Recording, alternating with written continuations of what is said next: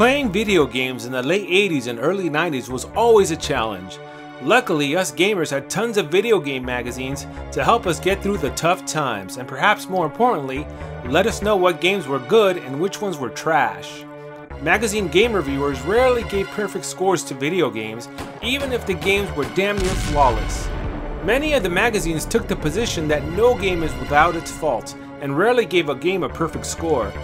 Well, today on the Big Retro Show, some of my favorite YouTubers and I will be talking about the games that are perfect in every way possible.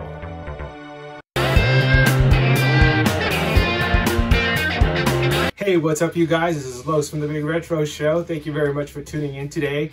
So let's get into what my guests feel are the perfect games. And after they give you their opinion, I'm to give you mine. So first up is my good friend Chris from Telesplash Gaming. Now, Telesplash Gaming is an awesome channel. He does video game content, he does pickups, he does reviews. He's on the hunt for a complete N64 collection, and those videos have been highly entertaining. So go ahead and subscribe to him and check him out in his segment of The Perfect Video Game.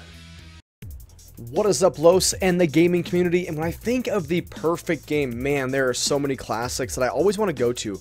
But when I think of all of the nostalgia that I have, and then I think of the love for modern games, there's really one that really comes to mind when I think of close to perfection. And it's going to surprise you, but it's Cuphead. I absolutely loved Cuphead. I went out and actually bought an Xbox just to play Cuphead on it. And I'm not joking. I went out, went to GameStop, bought an Xbox because I saw the first trailer for it, and it took everything I loved about 8-bit, 16-bit side scrollers, shmups, boss fights. It is everything you loved about difficulty of the NES hard, but it brought it to modern gaming. The graphical style of that old kind of Mickey Mouse style Steamboat Willie uh, mixed in with the modern HD, I just it, if you can't tell, I love it and I was excited about it. And to me, it's just so perfect because there's not a single level in that game where you go through and you think, okay, I'm never gonna beat this. But there's times when you're going, holy crap, it's hard. But every time you do it, you're always going, one more try, one more try, one more try. And I said that over and over again. To me, I love the hard aspect, but it's not so difficult that you want to pull your hair out and call it quits. It took a while for me to beat it, but it was so gratifying. The levels were fun, the bosses were amazing, they were funny. If you actually look at the animations, it was actually just incredible. So for me, if you like that old school side scrollers, the shmups, it's got a mixture of both of that and it does it to perfection. And it's another classic co-op game, which I absolutely love. You can play it by yourself, but you can play couch co-op, which a lot of games are lacking. So for me, if I think of a game that is almost perfect, it takes everything I love about that old school NES, Genesis, Super Nintendo, and then with my modern day stuff, and it's got to be Cuphead. Excellent choice to kick it off, Chris. Cuphead is one of these games that is remarkable. It is perfect.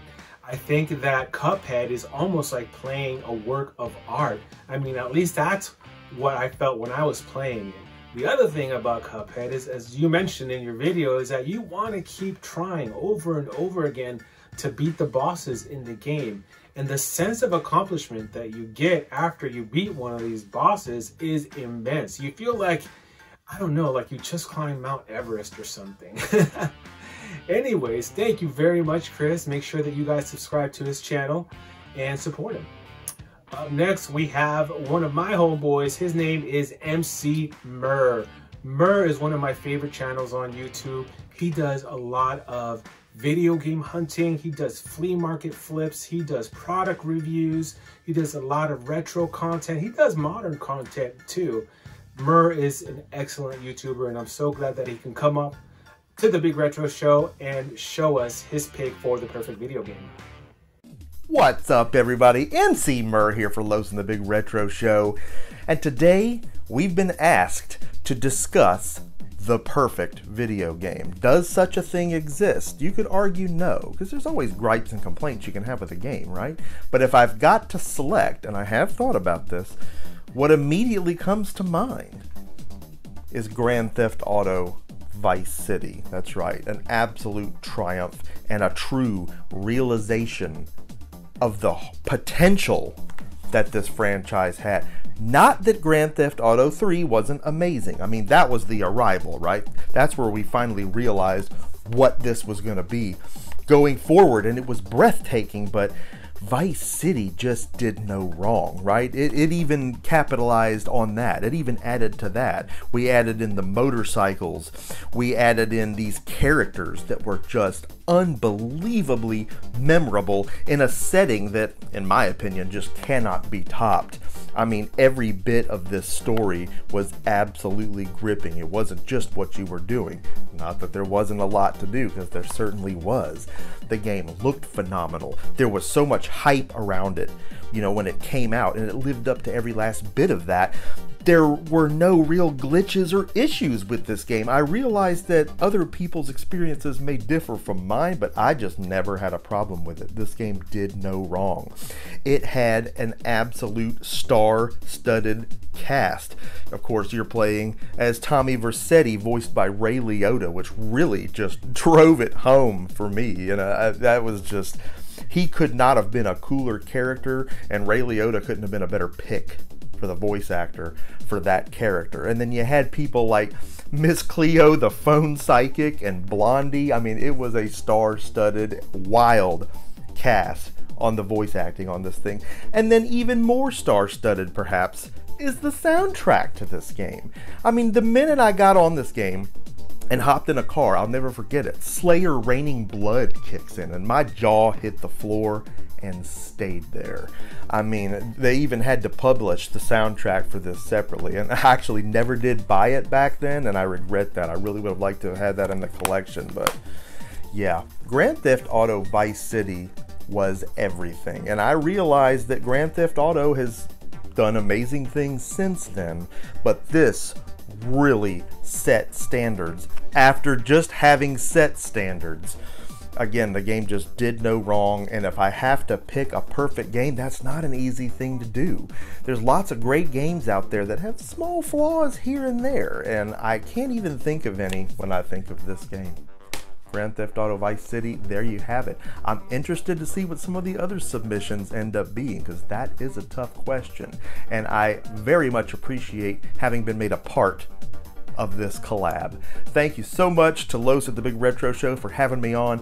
Emceemur signing off. We'll see you next time. Mur, you can't go wrong with Vice City, bro. That is an awesome game. I used to play that game all the time. I mean, every point that you, you hit on, I was like, yeah, man, the soundtrack, the voice acting, Ray Liotta was in there. He finally gave a voice to the anti-hero of the series, and it was awesome the pastel colors, and who can forget about Love Fist? they were awesome, and the mission that they had with the with the limousine that they were in in that game, I always had problems with that mission. I don't know why. But anyways, yeah, man, Vice City is one of these games that stands the test of time. And from what I hear, they're remaking this game for the Switch. I think they're remaking the original GTA 3 Vice City as well as San Andreas for the Switch. I'm really excited to see how that's going to turn out. Uh, so thank you, Mur. Make sure that you guys subscribe to his channel. You will not be disappointed with Emceemur. Up next is my friend from across the pond. His name is Geeky Nate. Nate, take it away. So what is the perfect video game for me? Well, it's going to have to be Shovel Knight. Shovel Knight really brought together everything of the platform genre, in my opinion. It brought stuff that we couldn't have back in the SNES or NES either, with the very complex background art that they've got going on. Um, the moveset is basic, it's not very complex. Uh, you've got your Pogoing uh, from DuckTales, which is a pretty cool feature. You can use it quite well. There's uh, skill building up as well in the game, so as you progress through the story, you progress through, you learn different features, you gain new power ups, and you can keep using them as you progress through. So the game, although it does get difficult, the power ups counter how bad that difficulty curve would be if you weren't getting those power ups. Um, so yeah, I, I, I, really love it. And then we got all of the DLC. So obviously I've got even more amiibo because that's what I like to collect. But uh, our first one I think was um, with this lovely chappie and you're playing the potions. It introduced a whole new way to play the entire game it expanded on the story. It made it really fun. Same with Specter Knight. Septonite was really fun as well. Uh, and the most recent one. So yeah, this game has been out what five years? It might be older. because it was on the Wii U. It could be older. Uh, I don't know. But now we've just got the King Knight expansion. And again, that's really fun. And it introduces another new feature, which is the card game as well. So yeah, for me, um, Shovel Knight, if you haven't played it, go check it out. You will absolutely love it. It's from Yacht, Yacht Boat Games. Uh, no, Yacht Club. Yacht Club Games. um, but I love it. You will love it. It's definitely best on a Nintendo platform because the amiibo do actually add to the game. It's not a great thing they add. They just add these little fairies that help you out, but it's still fun. Um, so yeah, get the game, check it out, enjoy it. To me, it's a perfect game. Nate, Shovel Knight is an awesome pixel art game. I'm glad that you were talking about this game in this episode because this is one of these games that takes you back to childhood, man. This is a game that would fit perfectly on the Nintendo Entertainment System, but it's a modern game too. And as you said, the mechanics of like DuckTales, a DuckTale jump was in there, and the boss battles were phenomenal. The story, you know, it was awesome too. I love the story, and I love kind of like the traversing of the towns and, and all of that stuff. So Shovel Knight is an awesome game, and I'm so glad that you talked about this game. If you guys like everything geeky, if you guys like the MCU and Pokemon and video games, mosey over to Geeky Nate's channel and make sure you subscribe and support him. Well, I guess now it's my turn to tell you guys what I feel my perfect game is. So, let's take a look. When I think of the perfect game, only Red Dead Redemption 2 comes to mind. The game is everything that I love about video games and I find myself reflecting on my playthrough of the game with great memories. Whenever I play video games, I expect to be taken away from reality and thrust into a world that I can have fun in. I want to be immersed in a world that is away from real life and one that I can do whatever I want in. And that is what RDR2 does best.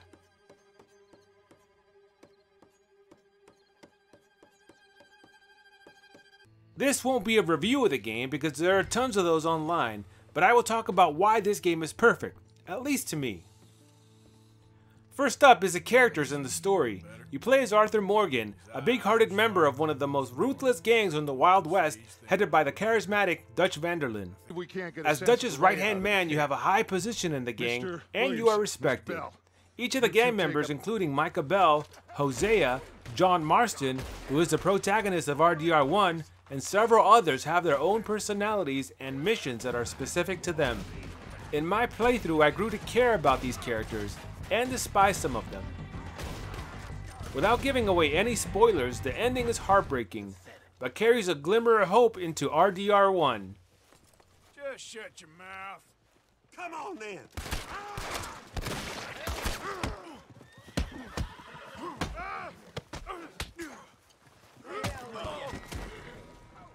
And there we go.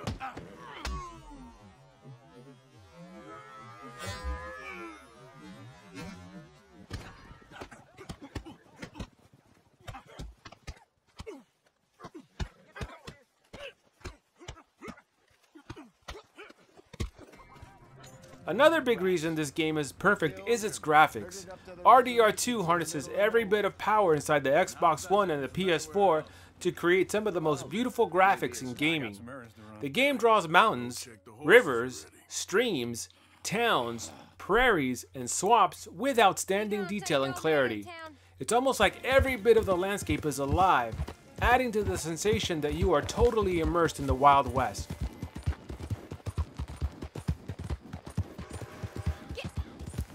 At any given moment while running from mission to mission, you can encounter numerous happenings that will take you completely off your course in the most wonderful ways possible.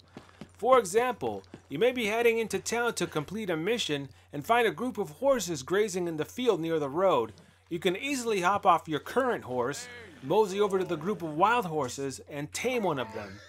Then make it your main horse and finish the mission on the new horse. Settle down. Easy now.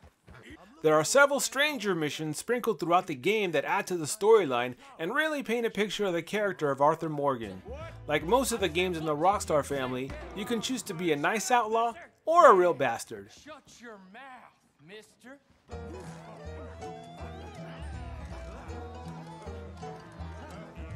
One of the most satisfying parts of the game is the gunplay.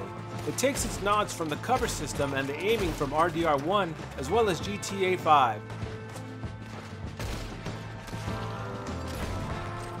Another big reason why I love this game is the hunting and fishing. And yes, I know this sounds lame, but these are superb aspects of the game not to be missed.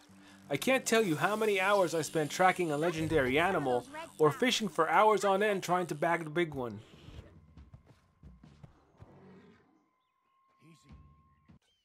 But it's not just about killing time when you are hunting and fishing. You can use the hides you collect from your prey to make unique clothing items and other things. You can also cook the meat that you get from these animals and maintain your health cores.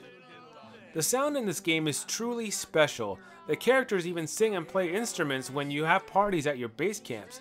It's all so cool. One of the songs in the game, Unshaken, played by the legendary R&B singer D'Angelo, is the best song I have ever heard in a video game. Period.